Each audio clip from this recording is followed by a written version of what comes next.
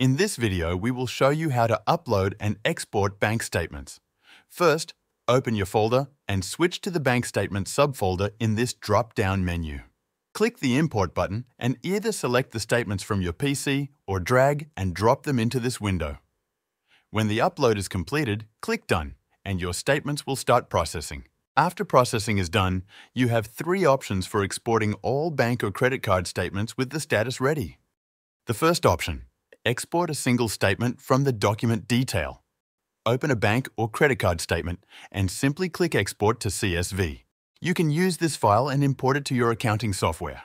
The second option, export a filtered part from a single statement. Inside the statement, you have a search field and date filters. Enter a search phrase or a date range and click CSV. This will allow you to download the filtered transactions into a separate CSV file. The third option, export multiple statements into one file. Go to the folder Overview, select the statements you wish to export and click Export to CSV.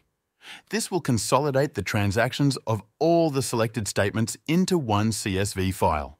You can find more information on our help desk and you can reach it by clicking on your initials in the top right corner.